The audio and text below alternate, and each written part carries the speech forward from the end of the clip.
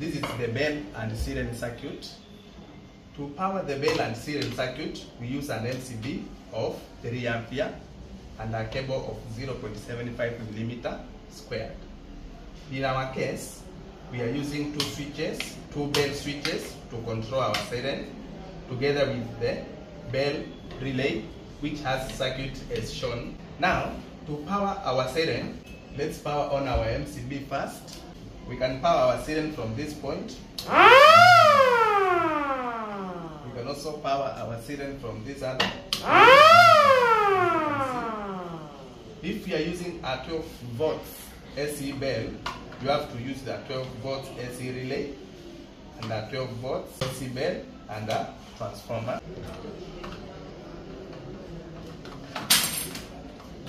Now we can replace our siren with AC bell as you can see. This is an AC bell. Now and try to power our bell using our bell conductor using the same circuit. You can hear our bell. You can also